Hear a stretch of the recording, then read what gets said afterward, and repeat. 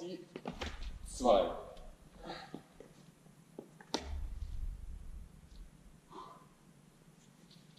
Drei.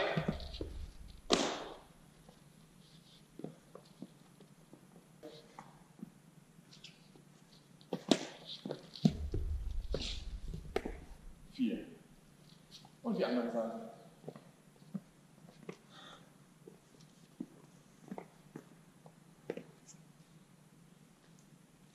Eins. Zwei.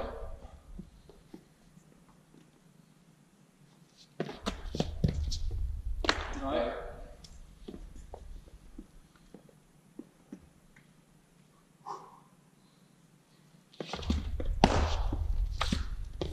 Vier. So, Every good things must have an end, and this is the end of Paulus Hector Mair's play. Plays, as far as we know, play number eight. Two more strikes or mehr Zween Oberschläg. We're pretty sure about the first steps of this when we stand in our postures we now stand with our left leg in front, but because we think there's no reason to start from a distance like this. Because if he will keep his and we want somehow run through a picture we see in the, in the plate of this plate, there's no chance that we start from, from a position like this and, and start hitting each other. So we interpretate, like in the previous play, some kind of Zufechten, where I stand with my left leg in front, and now I'm in a perfect range with my, with my grip to strike for his arm. And it's a pretty easy thing for him to deny it and strike back by just um, bringing his stick to my um, swinging parts, block them off, and his swinging part will automatically come to my hand. So it's, it's not really a thing. He does the step, he blocks this, and come to my hand. So, and now things get difficult, and we tried our best and present you our solution of this interpretation. Um, because Mair now scribes I should do a double triangle step. And we figured out that it's very uncomfortable for me to, when I um, answering his strike and bring him back, I step out, change the vector of my direction, and perform one triangle step. And there is no time and no reason for me to do a second triangle step until he um, parries this and is blocked from this side, then doing the triangle step back again and strike for the other side of his head with the um, lower end of my weapon.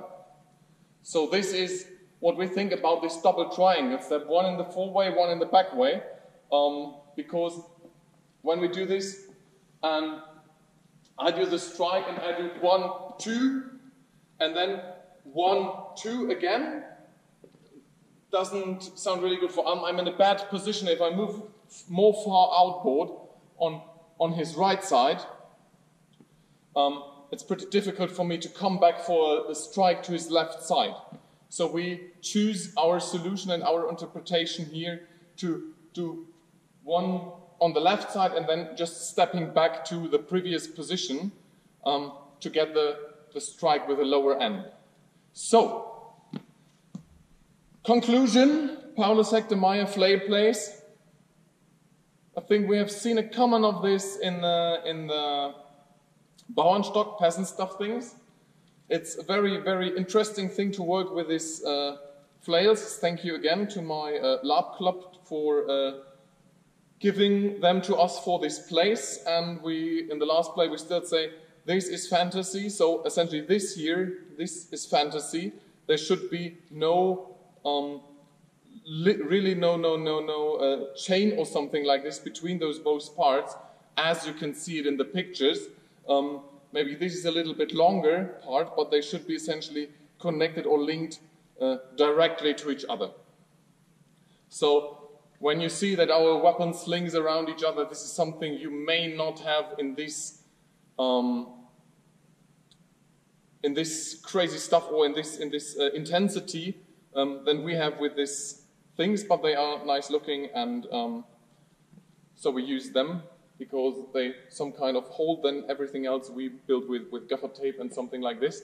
So we hope you enjoyed it. Um, it's a very very interesting thing. Again. Um, the last two place where he describes not the Zufechten, so where we just see some, some postures where you think this is not a position you're going to start a fight in because you're still that close that you can hit him with your pure hand and not use a weapon anymore. So the, the time for doing steps and doing actions is still over then when you are um, that close to each other, like in the last play when we when he stands with this and if, if I now start trying, he, he just um, could hit me or um, I, I just would, would, would stab to him like this and there's, there's no reason for me to perform a strike from this distance. Just when he does a step backward, then you see there is the distance um, where we're gonna are in the in the kill range with, with these weapons. So this is an, another another interesting thing that you have a, a very dangerous far end of this weapon, and as closer you get to your enemy, as I think not harmless but less scary this weapon gets. So you are, and this is something what Leonard and I personally enjoy, you really get in close combat and you can push and pull and, and something, may the next step is you will throw this away, put a dagger and keeps on fighting. So, yeah. Um, we enjoyed it.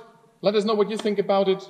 Long text at the end. Maybe Christian will cut it and just you will see this in the in the summary of everything. Maybe not. So this gets a very long video. Um, yeah, but that's it for today. That's it for Paulus Hector Mair's flail place playthrough number one. Let's say this.